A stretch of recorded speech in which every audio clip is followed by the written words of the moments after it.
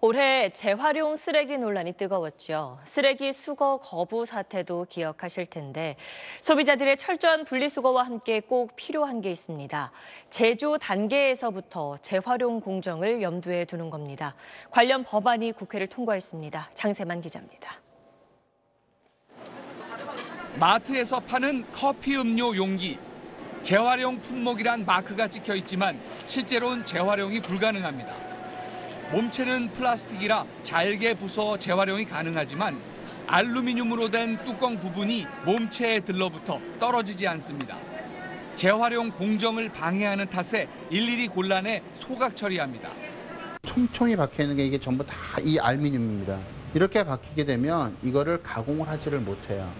반면 일본에선 몸체와 뚜껑 모두 같은 재질로 된 음료수병이 개발돼 한꺼번에 재활용이 됩니다. 페트병 역시 투명한 재질 이외에 색깔이 들어간 건 재활용을 못해 버려집니다.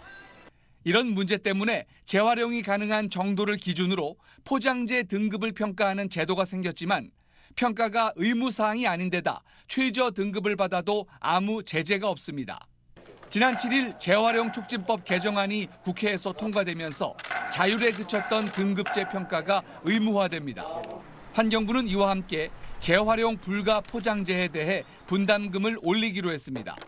재활용 비용에다 좀 더 그 많은 비용을 부과를 해서 실효적인 유인책을 그 주는 방식으로 설계할 계획입니다.